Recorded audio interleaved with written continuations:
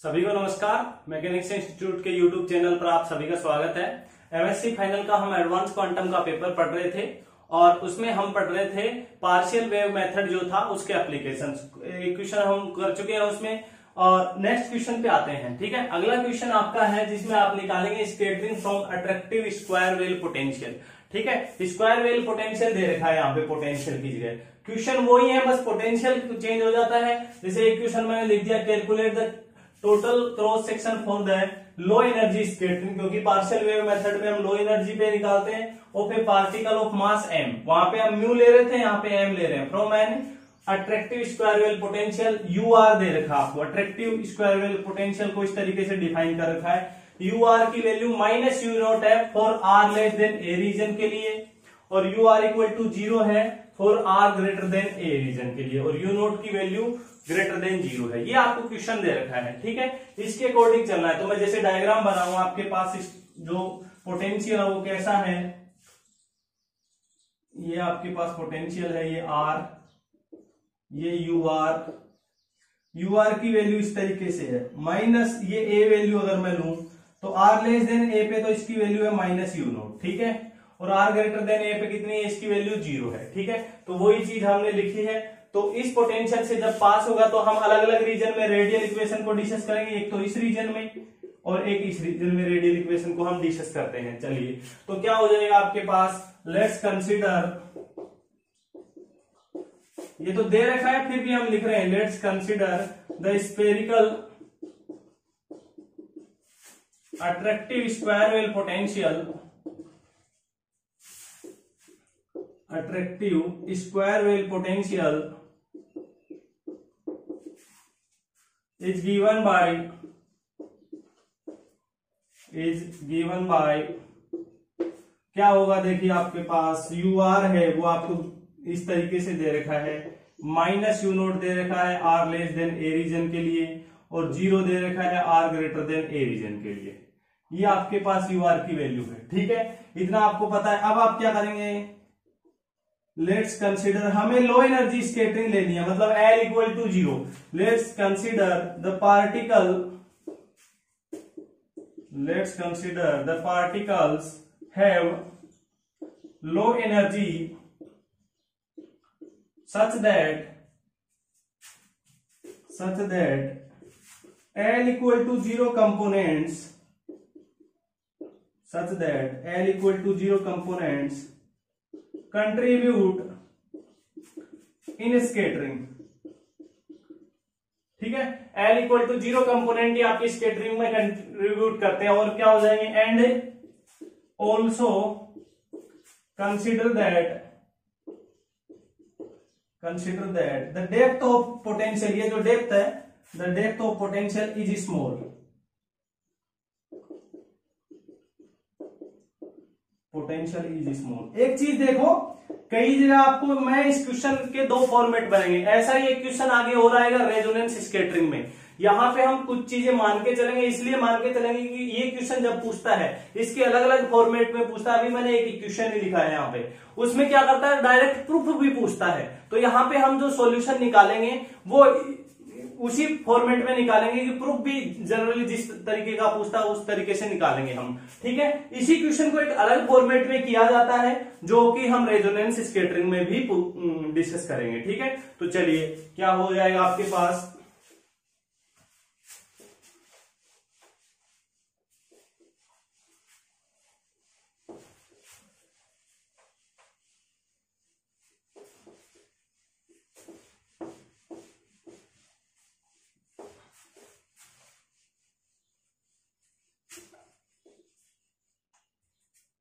हम partial wave analysis use लेते हैं using partial wave method the radial Schrodinger equation for R less than A के लिए। R less than ए के लिए रेडियल स्ट्रोडिंगर इक्वेशन ले रहे हैं, क्या हो जाएगा? D two U L plus K square minus L L plus one over R square minus two mu होता है ना वहाँ पे, यहाँ पे एम ले रहे हैं अपन। म्यू भी लिख सकते हो, अगर आपको मास म्यू दे रखा तो। नहीं भी दे रखा तो म्यू लिख सकते हो। टू एम लिखते हैं। चलो, हम कंफ्यूज नहीं हो, इसलिए मैं एम की जगह म्यू यूज़ में ले रहा हूँ यहाँ पे। एम की जगह मैं क्या ले रहा हूँ? म्यू यूज़ में ले रहा हूँ। Two mu U R over H cut square U L R equal to zero ये था आपके पास। ठीक है? आपको पता है किसके लिए डिस्कस करते हैं आप? For L equal to zero और आपकी वैल्यू भी रख दीजिए यहाँ पे। यू आर क्या है? एंड यू आर की वैल्यू है माइनस यू नोट फॉर किस रीजन के लिए? आर लेस देन ए के लिए। तो वैल्यू रखेंगे तो हमारे पास क्या आ जाएगा? डी टू यू नोट होगा। डी टू यू नोट होगा। इस यू नोट को मैं यू ही लिख रहा हूँ। ठीक है ना? प्लस के स्क्वायर एल की जगह ज़ीरो रखोगे तो ये कट जाएगा। Minus two mu, U not, U R की वैल्यू माइनस यू नोट तो ये क्या हो जाएगा? प्लस का यू नोट, ठीक है? अपॉन में H cut square U L और यू हो गया आपके पास इक्वल टू ज़ीरो ठीक है? इसको आप क्या करेंगे? इसको एक नया कांस्टेंट मान लीजिए। Let k one square equal to मान लिया आपने two mu U not over H cut square तो आपके पास क्या गया? D two U over D R square plus K square plus K not square इसको के नॉट स्क्वायर मान लिया। U इक्वल टू ज़ीरो ठीक है? इसको मैं ऐसे लिख सकता हूँ। D two U over D R square plus इसको के वन स्क्वायर नाम दे दिया मैंने equal to zero where K one square क्या है? K not square plus K square ठीक है? वैसे इसके नोट की वैल्यू बहुत कम होती है तो हम आगे यूज़ में लेंगे, ठीक है? तो ये, इसका सॉल्यूशन क्या हो जाएगा? The solution of this equation क्या होगा इसका सॉल्यूशन क्या होगा आपके पास? U R equal to A sine K R plus B cos K R ठीक है? ये होता है आपके पास, वही बाउंड्री कंडीशन यूज़ में लेंगे यूजिंग बाउंड्री कंडीशन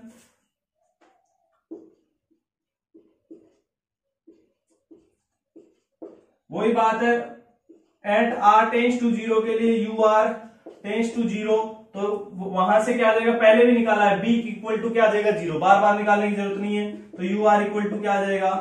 ए साइन के आर तो डायरेक्ट भी लिख सकते थे आप। तो ये आ गया एक सॉल्यूशन तो आपके पास। Equation number one two three जो भी है। चलो टू दे दिया इसको मैंने।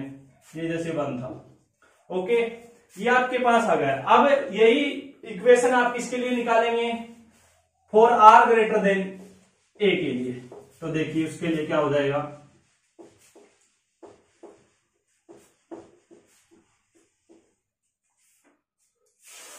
For R greater than A के लिए यही चीज़ निकाले। Using partial wave method the radial Schrodinger equation तो क्या हो जाएगा उसके लिए? D two U over D R square L equal to zero के लिए डिस्कस कर रहा हूँ सीधा तो एल वाला टर्म तो zero k square minus two mu u over h cut square और यू की value r greater than a के लिए कितनी होती है? ज़ीरो तो into zero u equal to zero तो ये टर्म हट गया। D two u over d r square ठीक है? प्लस क्या बचा? K square u equal to zero solution of this equation क्या हो जाएगा? सोल्यूशन ऑफ़ दिस इक्वेशन जब इस रीजन को पार करके जाएगा तो सॉल्यूशन क्या हो जाएगा? U R equal to C sine K R यही होगा प्लस डेल्टा नोट यहाँ पे डेल्टा नोट क्या है? फ़ेज़ शिफ्ट है। Where delta not is phase shift इतनी चीज़ हम बार बार करते आए हैं, वही फॉर्मेट है, कोई दिक्कत नहीं है। अब हम क्या करेंगे? At R equal to A पे बात करेंगे। तो आर इक्वल टू ए पे इसने कुछ भी डिफाइन नहीं कर रखा तो हम सीधी बाउंड्री कंडीशन लगाएँगे। At R equal to A using boundary condition और वो बाउंड्री कंडीशन क्या होंगी?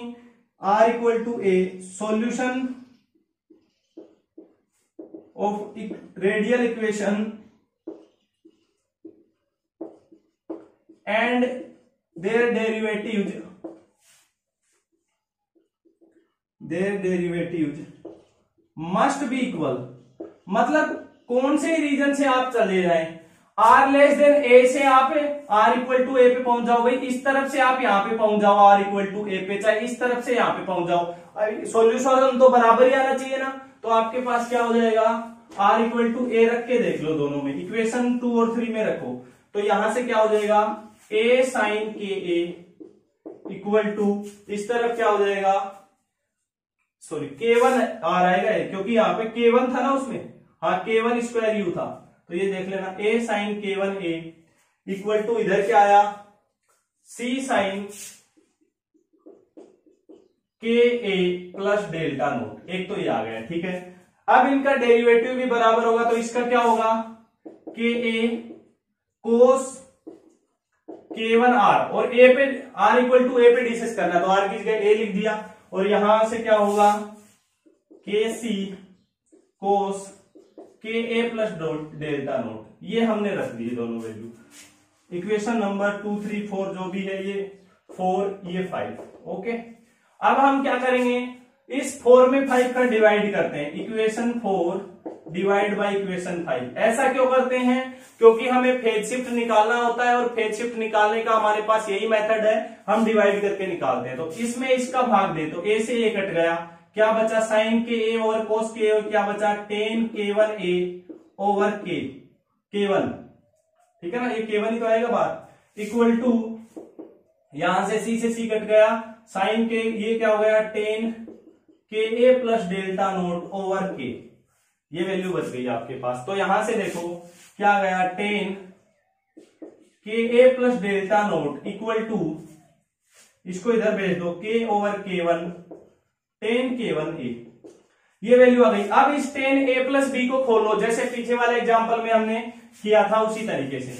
वहाँ पे कोट को खोला गया था, यहाँ पे टेन को खोलना है। कैसे खुलेगा भाई टेन ए प्लस बी आपके पास?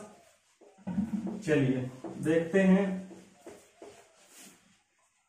क्या होता है टेन ए प्लस बी का फॉर्मूला तो ये हो जाएगा आपके पास tan k one a tan delta naught over one minus tan k one a tan delta naught ये tan k one a plus tan delta naught formula लगा दिया हमने। इक्वल टू क्या हो जाएगा? K over k one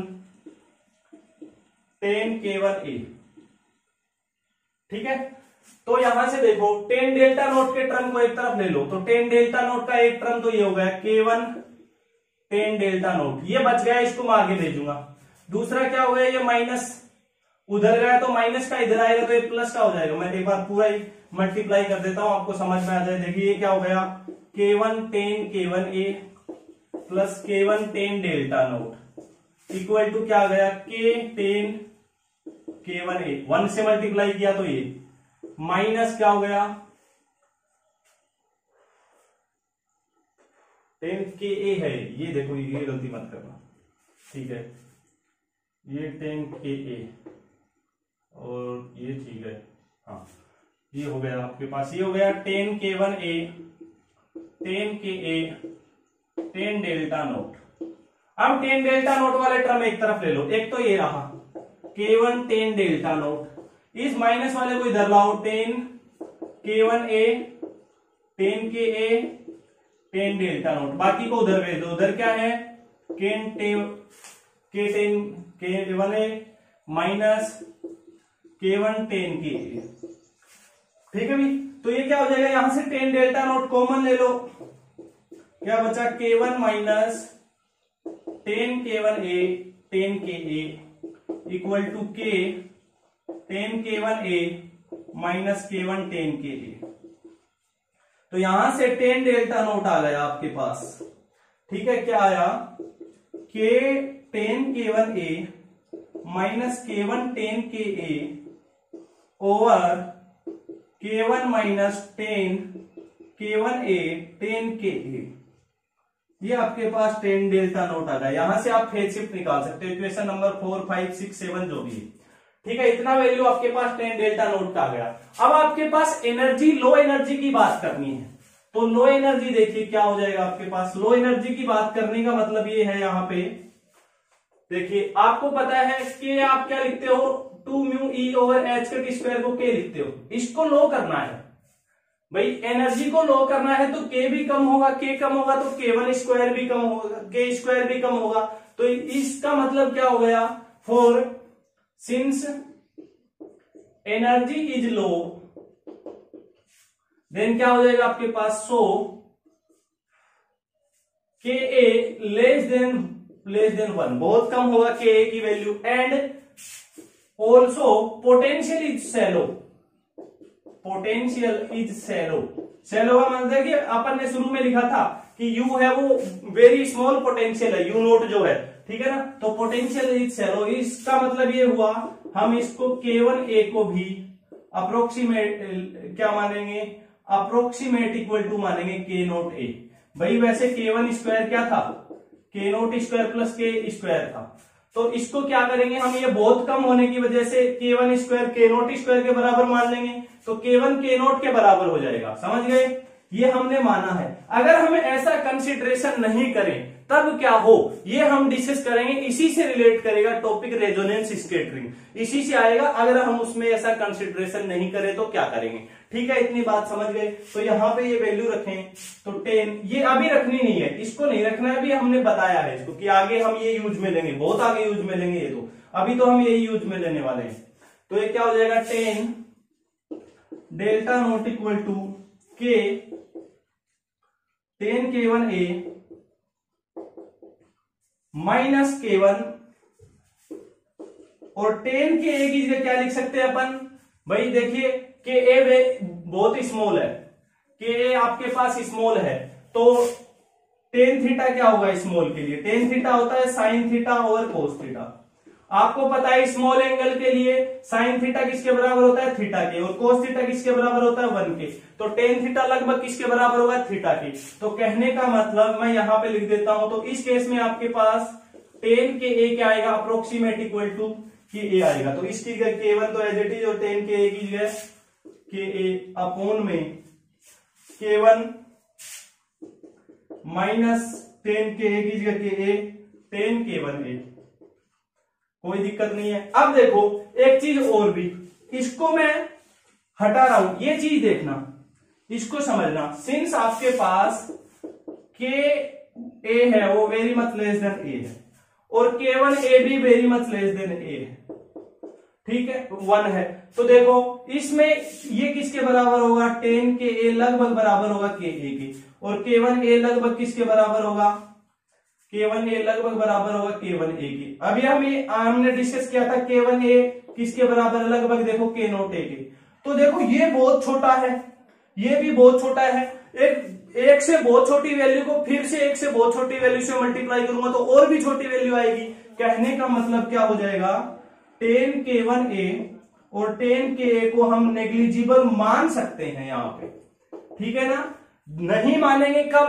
जब हम अगला टॉपिक में रेजोनेंस स्केटरिंग में इसको डिस्कस करेंगे। यहाँ पे जो चीज़ें माननी पड़ रही हैं तो क्या हो जाएगा यहाँ पे? आपके पास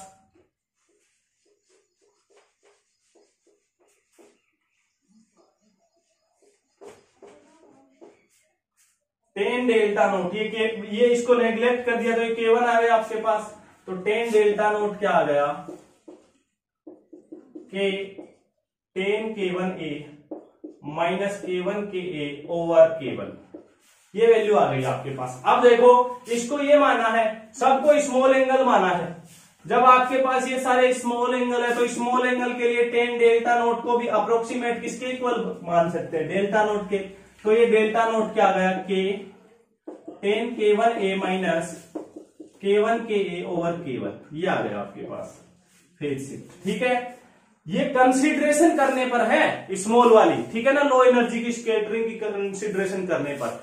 ऐसा होगा नहीं कब? जब हम रेजोनेंस स्केटरिंग में ये केस डिस्कस करेंगे इनके। चलिए, आगे हम बात करें।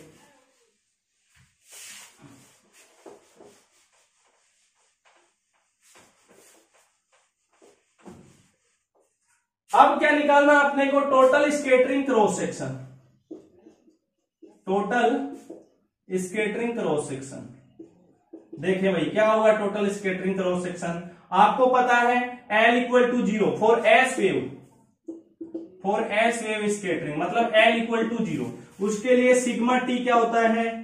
Four pi over k square sine square delta naught delta naught की वैल्यू ये है।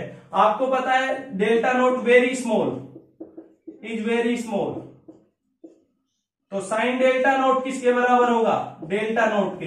तो साइन स्क्वायर डेल्टा नोट किसके बराबर होगा? डेल्टा नोट स्क्वायर के। तो इसको आप क्या लिख सकते हैं? Four pi over k square delta naught square. Approximate बराबर। ठीक है? तो डेल्टा नोट स्क्वायर की वैल्यू मतलब इसका स्क्वायर कर दो। तो सिग्मा टी क्या गया? Four pi over k square k tan k one a minus k one k a over k one का होल स्क्वायर अभी थोड़ी देर पहले मैंने बताया था पोटेंशियल इज़ सेलो वहाँ पे हमने के वन ए को अप्रोक्सीमेट किसके बराबर माना था? के नोट ए के. तो वो भी लिख दो यहाँ पे. Four pi over k square k tan k naught a minus k naught k a upon में के नोट ठीक है? और एक चीज़ और ए स्क्वायर आप ऊपर नीचे मल्टीप्लाई कर दो फोर इसका होल स्क्वायर है ना? तो ए स्क्वायर ऊपर नीचे मल्टीप्लाई करूँगा तो ये क्या हो जाएगा? यहाँ पे ए स्क्वायर ओवर ये के स्क्वायर है। तो ए स्क्वायर मतलब ऊपर तो ये मैंने ए स्क्वायर लिख दिया और होल स्क्वायर में स्क्वायर करते ही हो गया आपके पास। अगर के स्क्वायर कट रहा है तो काट दो। के स्क्वायर कट रहा है क्या? के इसमें भी है, इसमें भी बिल्कुल कट रहा है। सिग्मा टी क्या हो गया? Four pi a square tan k naught a minus k naught a over k naught a का होल स्क्वायर ये आ गया आपके पास। कई बार प्रूफ में ये पूछ लेता है, कई बार ये पूछ लेता है। तो आपको प्रूफ के अकॉर्डिंग चलना है। और यहाँ से आपको साफ़ साफ़ ये भी दिख रहा है, क्या टोटल स्केटरिंग क्रॉस सेक्शन में कहीं पे भी एनर्जी आ रही है? तो एनर्जी पे डिपेंड नहीं करता है। ओके ये आपके पास आ गया total scattering cross section inverse square well potential के लिए। अब हम repulsive sorry attractive square well potential हो गया। अब हम रिपल्सिव स्क्वायर वेल पोटेंशियल के लिए डिस्कस करेंगे। उसमें ही आ, आ, उसके आगे हम डिस्कस करेंगे हार्ड स्पेयर के लिए। रिपल्सिव और इसमें देखना क्या फ़र्क होगा।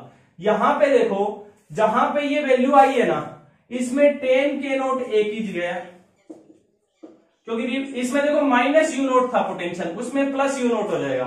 इसमें टेन के नोट एक ही जगह उसमें रख दो iota tan k naught a बस इतना ही चेंज करना है और कुछ नहीं करना। चलो देखते हैं निकाल के हम इसको अलग से। तो हम नेक्स्ट जो क्वेश्चन है वो डिस्कस करने वाले scattering from repulsive square well potential और हार्ड स्पेयर दोनों में क्या डिफरेंस है देखो स्क्वायर वेल पोटेंशियल है आपके पास। जैसे आपने कोई आपने ये इंसिडेंट वेव है दोनों को समझना पहले तो दोनों में। ये किसी इस टारगेट के ये, ये आपका स्पेरिकल इसका पोटेंशियल रीजन है, जिसमें ये आर लेस देन ए पे अलग पोटेंशियल है आर ग्रेटर देन ए पे तो ज़ीरो है, दोनों के लिए, ठीक है? और अट्रैक्टिव में भी ज़ीरो था। इनसाइड अट्रैक्टिव में यहाँ पे माइनस यू नोट पोटेंशियल था।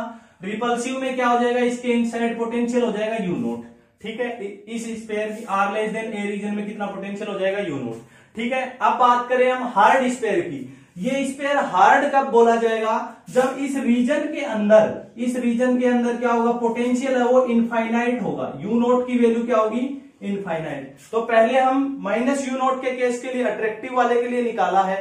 उससे हम प्लस यू नोट करके निकाल लेंगे रिपल्सिव के लिए। और वो निकालने के बाद यू नोट की जगह अपन क्या लिमिट लगा देंगे? Limit U naught tends to infinite तो हमारे पास हार्ड स्पेयर के लिए आ जाएगा। तो क्या अट्रैक्टिव स्क्वायर वेल पोटेंशियल से क्या मतलब है? रिपल्सिव से क्या मतलब है? और हार्ड स्पेयर से क्या मतलब है? क्लियर हो जाना चाहिए। तो इससे क्वेश्चन देखो क्या पूछा है फिर इसने। क्वेश्चन ये पूछा गया है। दो क्वेश्चन है आपके पास। पहला है determine the low energy scattering cross section from a repulsive square well potential ठीक है? रिपल्सिव स्क्वायर वेल पोटेंशियल के लिए low energy scattering cross section निकालना है। So so that even in the limit of high energy अभी तो low energy निकालना था और हाई एनर्जी की लिमिट में भी उसको चेक करना है। जो रिज़ल्ट आएगा, वो क्लासिकल रिज़ल्ट से मैच करेगा या नहीं करेगा, ये बताना है। क्लासिकल जब सिग्मा टी को आप हाई एनर्जी पे निकालते हैं तो क्लासिकल रिज़ल्ट आता है इसका pi a square sigma t की वैल्यू क्लासिकल स्केटरिंग में क्या होती है? पाई ए स्क्वायर ठीक है? ये इसके बराबर आएगा या नहीं आएगा, ये हमें चेक करना है। ठीक है? सेकेंड क्वेश्चन में भी है discuss the hard sphere scattering वहाँ पे क्या था? रिपल्सिव रिपल्सिव मतलब यू नोट पोटेंशियल लेना है इनसाइड द रीजन और हार्ड स्पेयर मतलब यू नोट को टेंस टू क्या कर देना? इनफाइनाइट बस इतना चेंज है. और इसमें भी वही चेक करना है कि compare it discuss the hard sphere scattering using partial wave method low energy और हाई एनर्जी दोनों पे डिस्कस करनी है और क्लासिकल रिज़ल्ट के साथ इसकी कंपेरिजन करनी है. चलिए तो पहले हम डिस्कस करते हैं रिपल्सिव स्क्वायर वेव पोटेंशियल के लिए।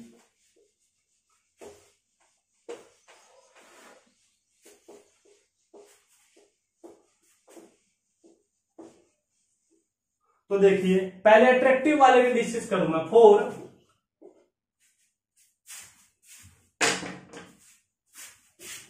for attractive square well potential attractive square well potential the total scattering cross section the total scattering cross section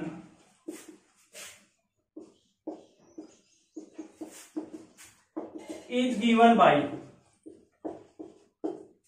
कितना आया था? देखो सिग्मा टी आपके पास आया था, याद हो तो four pi a square tan k naught a minus k naught a over k naught a का whole square equation number one ठीक है?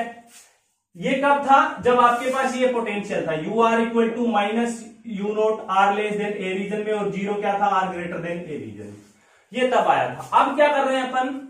And repulsive square well potential is defined by कैसे डिफाइन करते हैं भैया आप उसको? यू आर इक्वल टू क्या करते हैं? यू नोट तो हो गया आर लेस देन ए पे और ज़ीरो हो गया आर ग्रेटर देन ए पे। मतलब पोटेंशियल में एक माइनस का फ़र्क आया है। तो हम क्या करेंगे?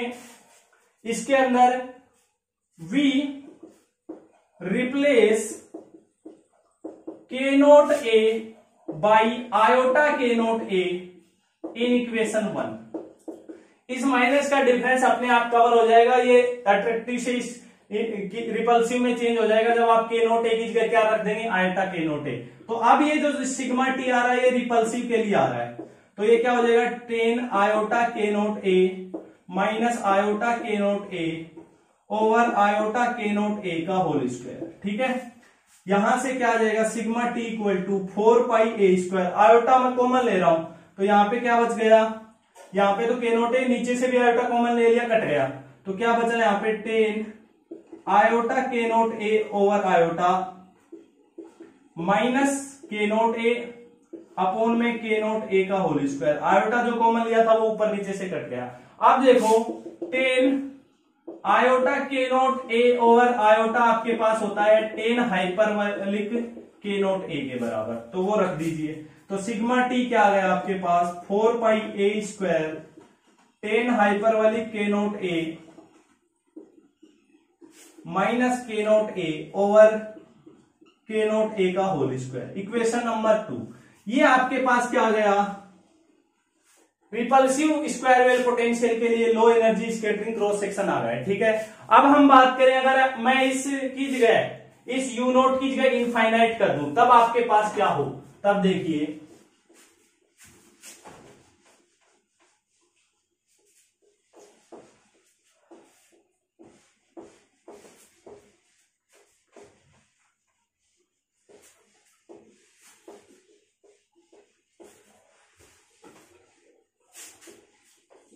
किसकी बात कर रहे हैं हम? हार्ड पोटेंशियल की। For,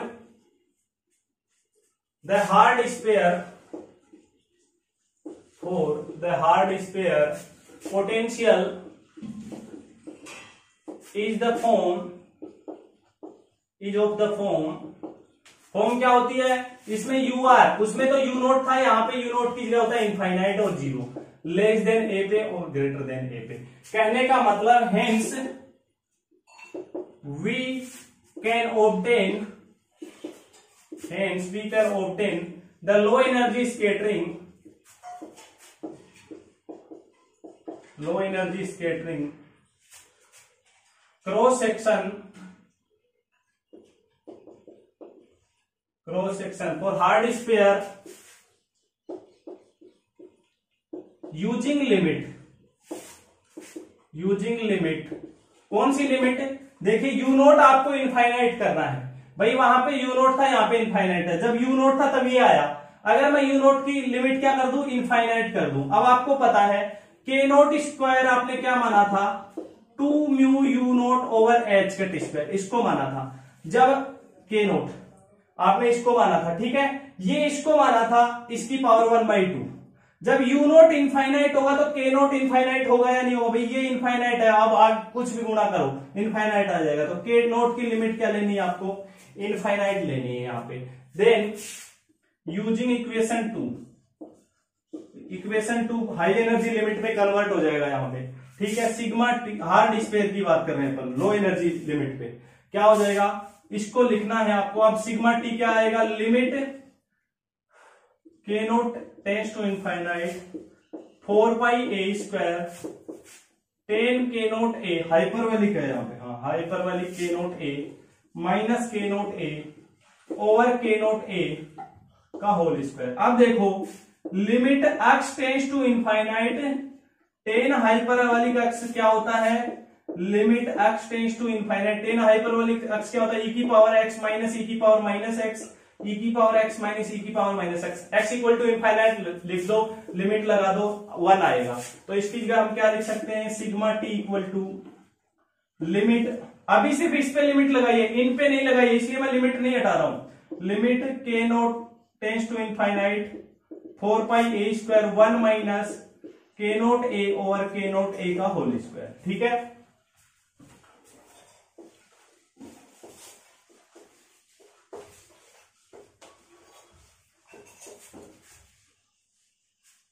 अब देखिए, नीचे वाले के नोट ए का भाग दे दो, लिमिट सोल्व करने का तरीका आपको आता है, ये limit k naught tends to infinite four pi a square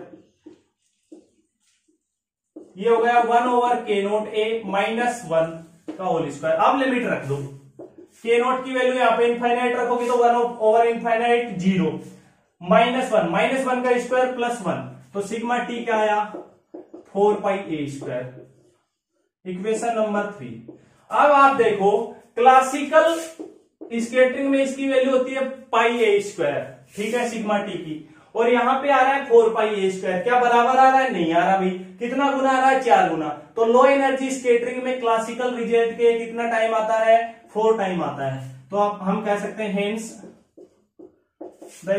total scattering cross section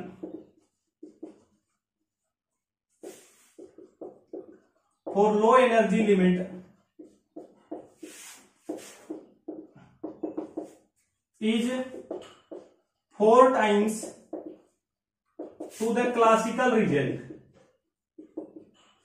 classical result और जो कि क्या होता है? पाई ए स्क्वायर ये तो हो गई लो एनर्जी लिमिट की बात. अब हम बात करें हाई एनर्जी लिमिट पे क्या ये पाई ए स्क्वायर आएगा या नहीं आएगा? चेक करेंगे. हाई एनर्जी लिमिट का मतलब है, देखो लो एनर्जी लिमिट में सिर्फ़ हम एल इक्वल टू ज़ीरो ले रहे थे. और हाई एनर्जी लिमिट का मतलब सिग्मा टी का फॉर्मूला तो एक्चुअल में तो ये होता है ना l equal to zero to infinite four pi over k square बाहर, four pi over k square two l plus one sine square delta l. ये होता है ना आपके पास भी? तो उस फॉर्मूले को हम यूज़ में लेंगे। लेकिन वो यूज़ में लेने से पहले हमें एल कहाँ से कहाँ तक? ज़ीरो से लेके इनफाइनाइट तक नहीं। एल एल मैक्सिमम तक लेना पड़ेगा, जो कि हमने पार्शियल वेव एनालिसिस में डिस्कस किया था शुरू ही शुरू में, कि एल मैक्सिमम की वैल्यू कितनी हो सकती है? अधिकतम हो सकती है a naught h cut k. अगर एच कट के को मैं इस यूनिट में मान लू वन मान लू तो ये क्या हो जाएगा? ए के या ए नोट के तो एल मैक्सिमम की वैल्यू यहाँ पे हम क्या लेंगे? ए के लेंगे। देखिए चेक करते हैं।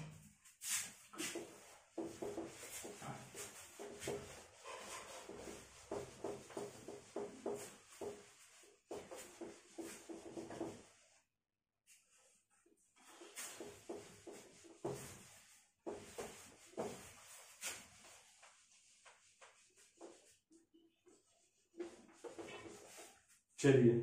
हाई एनर्जी लिमिट की बात करते हैं। High energy limit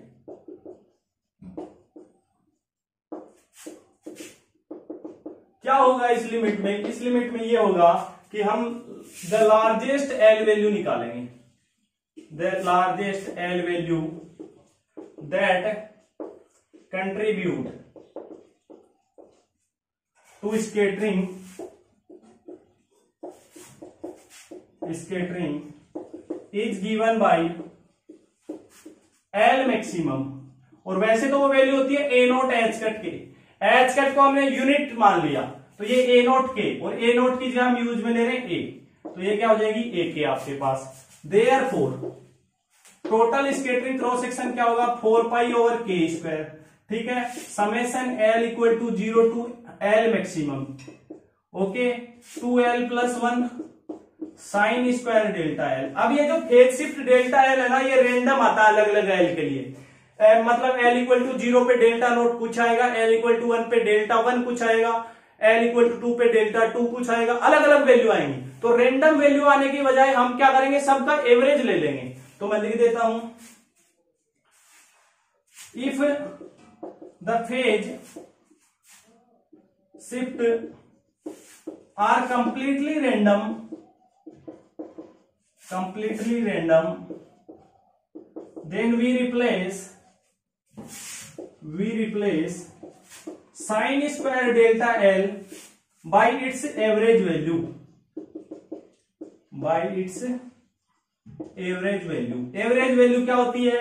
sign square theta या डेल्टा एल की एवरेज वैल्यू क्या होती है? वन बाई टू तो ये रख देंगे यहाँ पे यहाँ पे। Sigma t four pi over k square और हाई एनर्जी लिमिट की बात कर रहे हैं आप तो सिग्मा टी भी किसमें निकाल रहे हैं आप? इसके लिए आप सिग्मा टी किसमें निकाल रहे हैं? के टेस्ट टू इनफाइनाइट पे। तो वो मैं लास्ट में लिखूँगा, ये किस पे निकाल रहे हैं? हाई एनर्जी लिमिट मतलब के की वैल्यू इनफाइनाइट की तरफ़ जा रही है। हाई एनर्जी का मतलब यही तो हुआ। और l equal to zero to l maximum की वैल्यू क्या थी? ए के और ये हो गया आपके पास टू एल प्लस वन इसकी वैल्यू वन बाई टू ये वन बाई टू से टू कट गया। तो क्या आ गया आपके पास? Two pi over k square summation l equal to zero एक तो two l, plus summation l equal to zero to a k, एक वन। ठीक है? आपके पास समेसन को मैंने अलग अलग खोल दिया और ये टू इधर भाग में ले आए। चलिए, आपके पास आगे देखिए क्या हो जाएगा?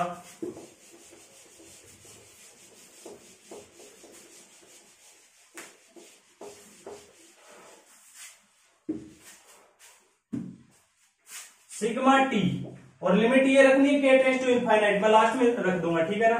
क्या होगा two pi over k square यहाँ पे l equal to zero to को तो बाहर ले लो। समेसन एल की वैल्यू क्या होती है? एल एल प्लस वन और एल की वैल्यू कहाँ से कहाँ तक है? ए के तो ये क्या हो जाएगी? ए के और ए के प्लस वन ये हो गया इसका काम। आगे देखो वन वन का मतलब फ़र्स्ट स्टेप और लास्ट स्टेप रखना है। तो आपके सॉरी एल ये क्या हो जाएगा आपके पास? ए के प्लस वन जो वैल्यू हो जाएगी आपके पास l summation one summation one की वैल्यू ये होती है आपके पास एल प्लस वन ठीक है? तो ये आ गई आपके पास, चलिए सिग्मा टी क्या गया? Two pi over k square ठीक है? और अपोन में टू भी तो होती है ना l l plus one by two ये टू से टू कट गया। ए के प्लस वन इसमें और इसमें कॉमन ले लो। के ए प्लस वन कॉमन ले लिया मैंने। यहाँ पे बचा के ए और आगे में पूरा कॉमन आ गया तो प्लस वन तो ये आ गया आपके पास sigma t equal to limit लगी हुई है के टेंस टू इनफाइनाइट ये बार बार बता रहा हूँ मैं। ठीक है ना? Two pi over k square इसको क्या लिख देंगे? K square a square plus one का square plus two k a whole square खोल दिया मैंने। ठीक है? के स्क्वायर कॉमन लेके बाहर निकाल लो और लिमिट अप्लाई कर लो।